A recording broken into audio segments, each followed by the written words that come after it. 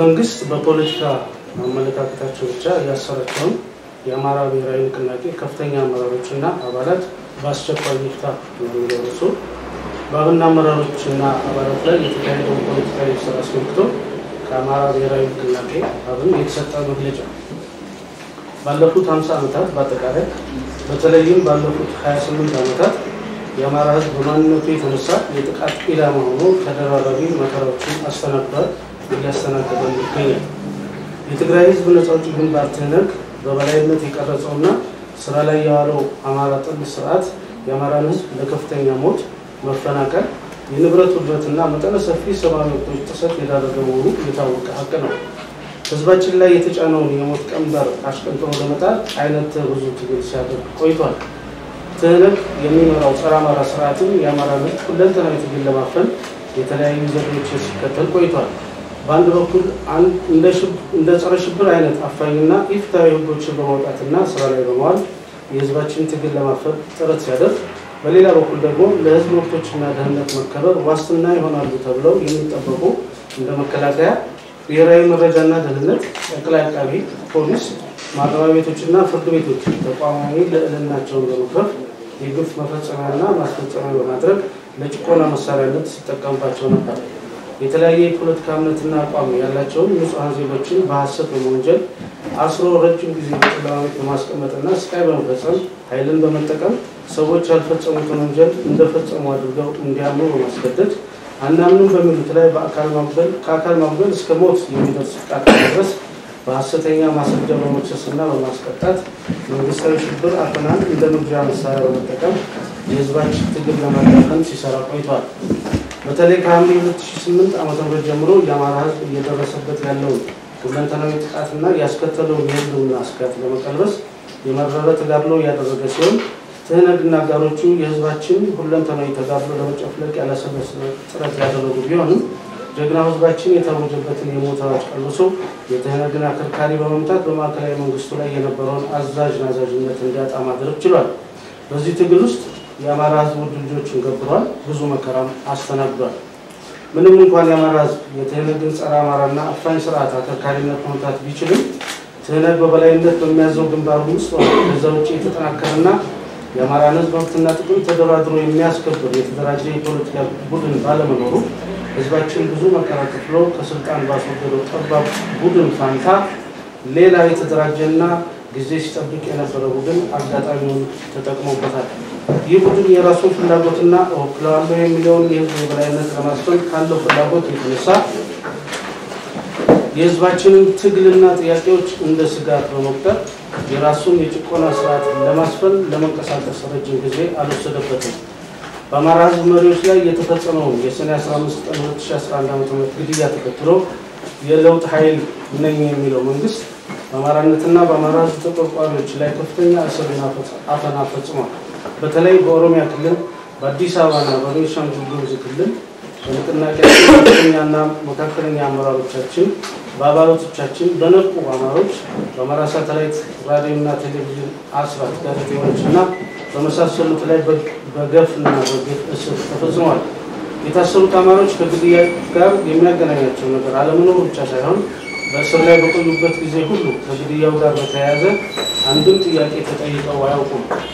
በእርግጥ ያሰሯቸው በወንጀል ጠርጥሯቸው ሳይሆን የአማራ ብሔርተኝነት መሪዎች ናቸው ብሎ ስለሆነ ከሰኔ 15 ድርጊት ጋር የተያያዘ አንድም ጥያቄ አለመጠየቃቸው የሚጠበቅ ነበር።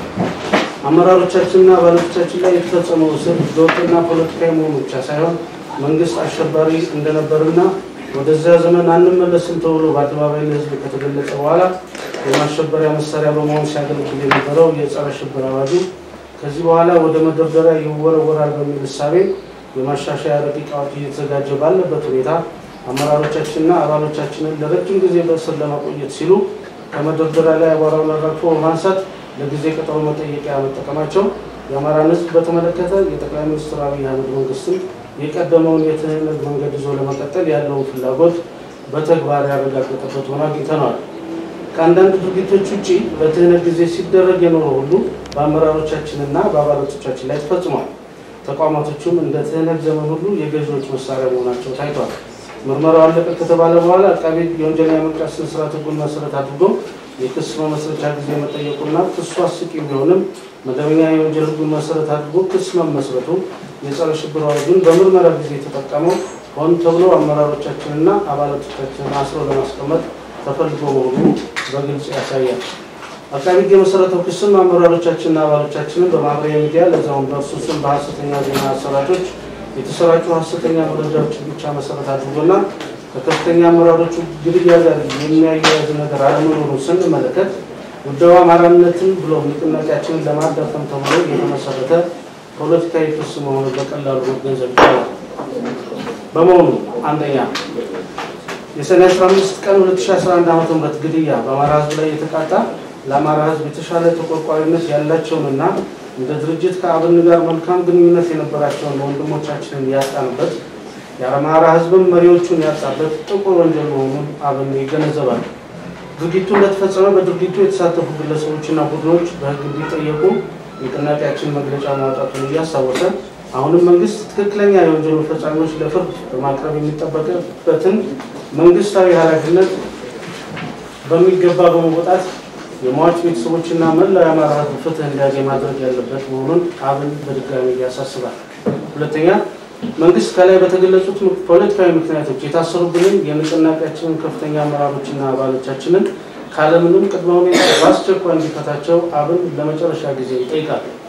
ሶስተኛ የአብን አባላትና ደጋፊዎች እንዲሁም መላው የአማራ ህዝብ እስካሁን ድረስ የታሰሩት አመራሮቻችንና አባሎቻችንን መንግስት ያሰራቸው አላግባብ መሆኑን በማመን ተገቢው ማጣራት አድርጎ ይፈታቸዋል በሚል እምነት በተለይም በሀገራችን እና በክልላችን ግድያውን ተከትሎ አለመረጋጋት መፍጠር ለሚፈልጉ አካላት በር ላለመክፈትና ፖለቲካችን በሰከነ መንገድ በውይይትና በድርድር መከናወን ይገባዋል በሚል እምነት ንቅናቄያችን ከቀጣይ ሰላማዊ የትግል ስልት ታቅቦ መቆየቱን በመረዳት በትዕግስት መጠበቃቸውን እያደነቅ ከዚህ በኋላ ግን መንግስት በእኛም በእናንተም ጥያቄ መሰረት በአስቸኳይ አመራሮቻችንና አባሎቻችን የማይፈታ ከሆነ ንቅናቄያችን ለሚያደርገው ሰላማዊ ትግል ጥሪ ከጎኑ እንድትሰለፉ ጥሪውን ያቀርባል። ንቅናቄያችን በከፍተኛ ብስለትና የኃላፊነት ስሜት ጉዳዩን ይዞ መቆየቱን እያስታወስ መንግስት ኃላፊነቱን ባለመወጣቱና ህገወጥ መንገድን በመከተሉ ለተፈጠረውና ለሚፈጠረው ሁሉ ኃላፊነት የሚወስድ መሆኑን በአጽንኦት ማሳሰብ እንወዳለን። አማራ በልጆቹ ትግል ታሪኩን ያድሳል። ህዳር 24 ቀን 2012 ዓ.ም አዲስ አበባ ሸዋ ኢትዮጵያ። በጣም አመሰግናለሁ ጥበበ። ሙሉ የ presser ኡን መግለጫ የህዝብ ግንኙነት team ኣችን copy distribute ያደርግላችኋል። እሱን እንድታደርጉ እጠይቃለሁ። የህዝብ ግንኙነት ወደ ጥያቄና መልስ ነው የምንገባው ማለት ነው።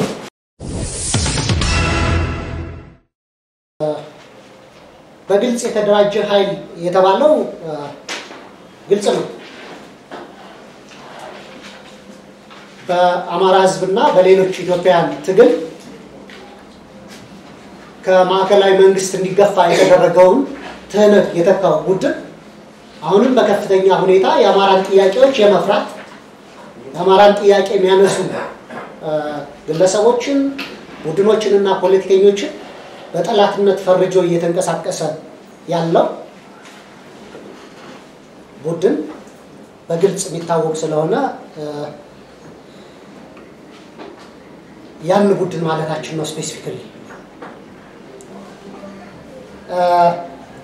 ኢዮብ ከኢሳት የጠየቀው አለመረጋጋትን መፍጠር የሚፈልጉ ኃይሎች ሲባል የአማራ ክልል ብዙ ኢንተረስቶች ያሉበት ህዝቡ ዕለታዊ ህይወቱን ተረጋግቶ እንዳይመራ የሚፈልጉ ብዙ አካላት ያሉበት እነ ጨምሮ ሌሎችም አክተሮች በሰፊው የሚንቀሳቀሱበት እንደሆነና የውክልና ጦርነት የሚያካሂዱበት ክልል እንደሆነ እናውቃለን።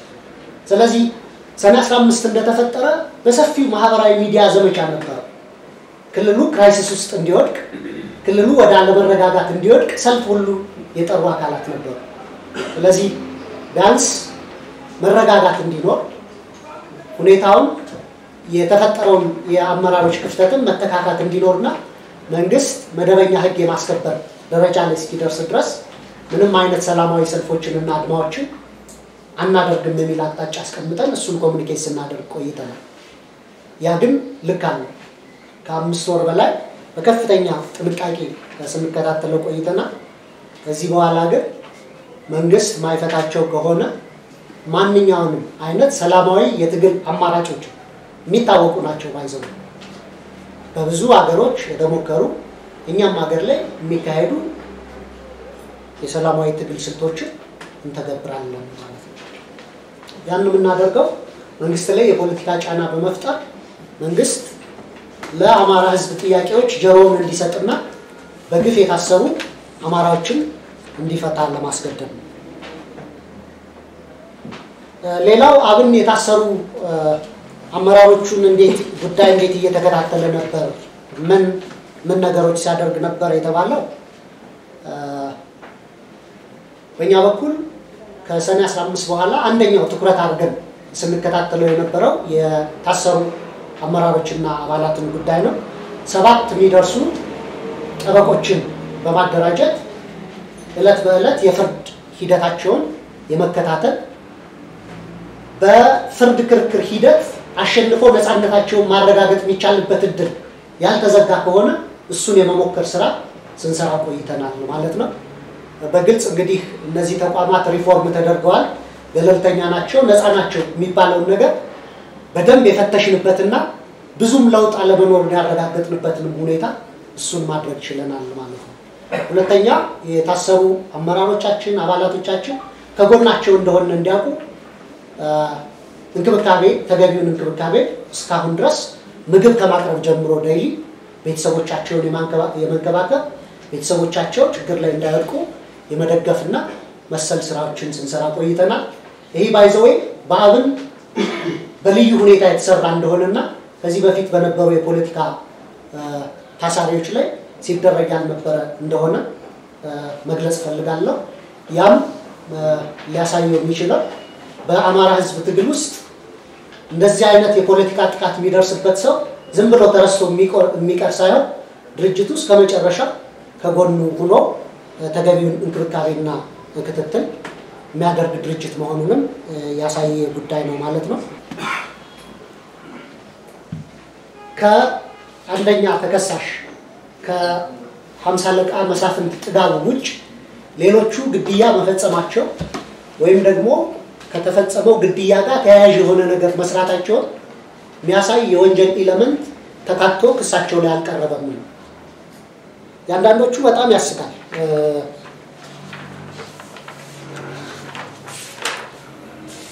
ለምሳሌ የክርስቲያን ታደለን ብንወስድ ክርስቲያን ታደለ ከታሰረ በኋላ የፌስቡክ ገጹን የመንግስት የጸጥታ አካላት ቁጥጥር አድርገውት ነበርና ደብረ ብርሃን ላይ አንድ ህዝባዊ ስብሰባ አድርገን ከዛ ስብሰባ በኋላ post ያደረገው ነገር ነበር። እሱ edit ተደርጎ ሌላ ወንጀል ቅስቀሳ የሚያስመስል ጽሁፍ ተካቶበት ያንን መረጃ ተደርጎ ነው የቀረበው። እሱ ከዚህ ከመታሰሩ በፊት የጻፈው ጽሁፍም እጃችን ላይ ያለ ከታሰረ በኋላ edit የተደረገውና ቀኑ ሁሉ እሱን መስጠት እንችላለን። ሁለተኛ በለጠ ካሳን በተመለከተ አንድ ወቅት በተደጋጋሚ በአመራሮች ስምና ማህተም ፊርማ እየተቀረጸ የሐሰት ደብዳቤዎች circulate ይደረጉ ነበር እና በበለጠ ካሳ ስም ደብዳቤ circulate ተደርጎ ስለነበር በማህበራዊ ሚዲያ በማህበራዊ ገጻችን ማስተባበያ ያወጣንበትን ደብዳቤ ነው የወንጀል መፈጸሙን መረጃ ተደርጎ የቀረበው ማለት ነው። ስለዚህ እነዚህን ነገሮች ስናያቸው በአጠቃላይ አብንን የማጥቃት የአማራ ብሔርተኛ አንቀሳቃሽ ናቸው፣ ለአማራ ሕዝብ መብት ይታገላሉ የሚባሉ ግለሰቦችን target ያደረገ እስር እንጂ ሰኔ 15 ጋር ከተካሄደው ግድያ ጋር በቀጥታም ሆነ በተዘዋዋሪ የሚያመላክት የወንጀል ተሳትፏቸውን በግልጽ የሚያሳይ መረጃ አልቀረበም ነው። ለምሳሌ ሲሳይ አልታሰብ የብሔራዊ ምክር ቤት አባላችን ላይ ሙሉ ክሱን ላነብላችሁ። ተከሳሹ በ28082011 የኢፌዴሪ መንግስት በመላው ሀገሪቱ ያወጣውን ጦር መሳሪያ እንዲመዘገብ በተላለፈ ትዕዛዝ በታዘዘው መሰረት እንዳይፈጸም ተከሳሽ ይህ የተደረገው የአማራን ህዝብ ለማንበርከት መሳሪያውን ከህዝቡ ለማስፈታት ስትራቴጂ መንደፋቸው ነው ብሏል። የአማራ ህዝብ ለህልውናው ሲል ጦር መሳሪያውን እንዳያስመዘግብ ብሎም እንዳያስረክብ ለሁሉም የአማራን ህዝብ እንዲነገረው በማለት ማንነቱ ያልታወቀ አንድ ሰው ለተከሳሹ ገልጾለት ተከሳሹ በዚህ ተልእኮ መሰረት ሲንቀሳቀስ ነበረ ነው። ይህ ነው እንግዲህ ከሰኔ 15 ግድያ ጋር ተያይዞ አምስት ወር ለታሰረ ሰው ክሱ የሚቀርበው በዚህ ነው። ከስንት ወር በፊት የተካሄደ ስልክ conversation የሆነ ሰው የአማራ ህዝብ መሳሪያውን እንዳያወርድ ብሎ ነግሮታል የሚል ግን ተሳትፎ ምን እንደሆነ ማያሳይ ማለት ነው። ስለዚህ አጠቃላይ ዝርዝር ክሱን በህግ ባለሙያዎቻችን በሰፊው ስንመረምረው more ፖለቲካ የተጫነው እንጂ ከወንጀሉ ጋር በቀጥታ የሚያያይዝ ነገር የለም ብለን እንድናምን አስገድዶናል ማለት ነው። ስለዚህ ፍትህ አሁንም እንጠይቃለን። የተገደሉ አመራሮቻችን፣ የተገደሉ ወንድሞቻችን ፍትህ ይፈልጋሉ። ቤተሰቦቻቸው ፍትህ ይፈልጋል። የአማራ ህዝብ ፍትህ ይፈልጋል። ያን ተጠቅሞ ግን ንጹሐን የአማራ ልጆችን ለማጥቃት መዋል ያንን ወንጀል ሌላ ታሪክ ይቅር የማይለው ጥፋት ነው ብለን እናስባለን እና ከዚህ አንጻር ነው የምናየው። በቀጣይ ምን ታደርጋላችሁ ለተባለው ቅድም በመግለጫችን ላይ እንደተነበበው አብን ይህን ጉዳይ በከፍተኛ የኃላፊነት ስሜትና ጥንቃቄ ነው ሲከታተለው የነበረው። ሰላማዊ የትግል አማራጮችን ደረጃ በደረጃ አስቀምጠን እሱን ህዝባችን አንቀሳቅሰን ትግል የማካሄድ ሰፊ እድል አለው። ያን ማድረግ የሚያስችል ሰፊ የአባላትና የደጋፊ ብዛት ያለው ድርጅት እንደሆነም ይታወቃል። እስካሁን ግን ያንን ያላደረግነው አንደኛ ክልሉ እንዲተራመስ የሚፈልጉ ኃይሎች ያን እድል እንዳያገኙ ከፍተኛ ጥንቃቄ ማድረግ ስላለብን እና ጉዳዩንም ከሚመለከታቸው የመንግስት አካላት ጋር በመነጋገር በመወያየት ሊፈታ ይችላል የሚል ተስፋ ስለነበረ ነው ማለት ነው። ያን አስመልክቶ ብዙ ውይይቶች አካሂደናል። ብዙ ንግግሮችን አካሂደን ነበር። ሊፈቱ የሚችሉበት እድልም ሊኖር እንደሚችል ተስፋዎች ነበሩ። ነገር ግን እስካሁን አልተፈጸመም ማለት ነው። ስለዚህ መንግስት በአጭር ጊዜ ውስጥ አመራሮቻችንና አባላቶቻችን ማይፈታ ከሆነ ተገደን ሰላማዊ ወደሆኑ የትግል ስልቶች የቤት ውስጥ አድማን ጨምሮ በአደባባይ የሚደረጉ ሰላማዊ ሰልፎችን እና ሌሎችም የመንግስትን ላይ ያለንን ተቃውሞ የሚያሳዩ የትግል ስልቶችን የምንተገብር መሆኑን በዚህ አጋጣሚ መግለጽ እፈልጋለሁ።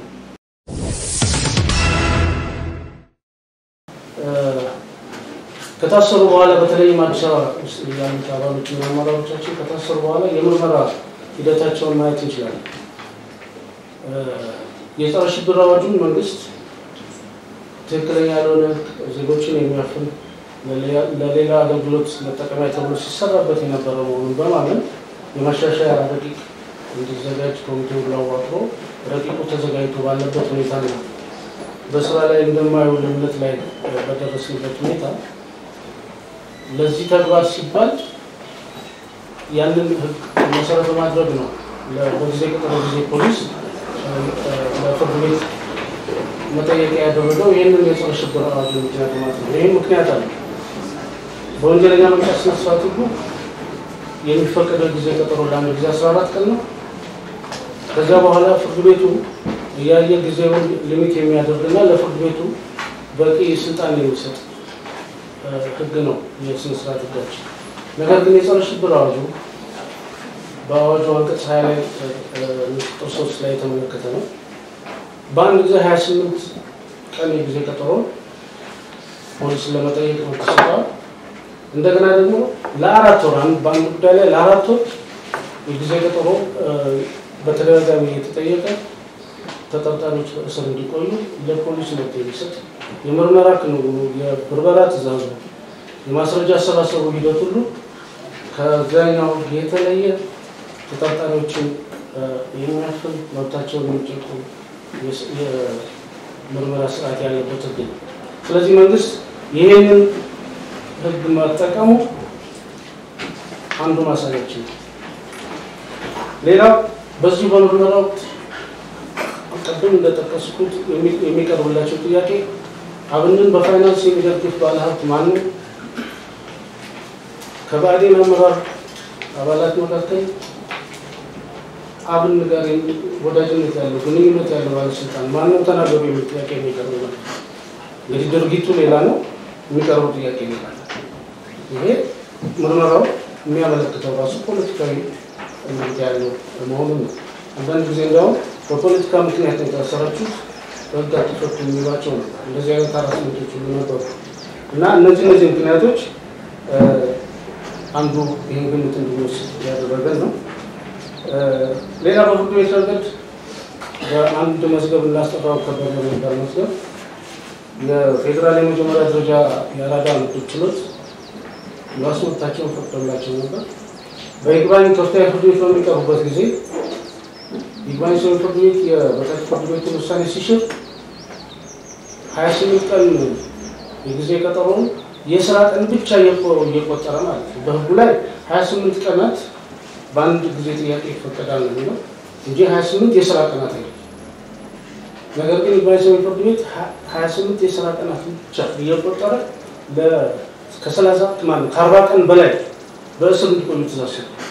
ግልጽ ህግን የጣሰ ድንጋጌን የጣሰ ትእዛዝ ነው። እነዚህ እነዚህ ነገሮች አመላካች ናቸው። የክስ አቀራረብ ሂደቱንም ብናየው አብዛኛው ክሶች በክስ ዝርዝሩ ላይ ተከሳሾቹ ፈጸሙ ተብሎ የተዘረዘሩ ድርጊቶች በፍጹም ከሰኔ አስራ አምስቱ ግድያ ጋር የሚገናኙ አይደለም። አብዛኛው ክሶች እና እነዚህ ናቸው እኛ እስሩ ፖለቲካዊ እንድምታ አለው ህግን ለማስከበር አይደለም የሚል ነገር እንድንወስድ ያደረጉን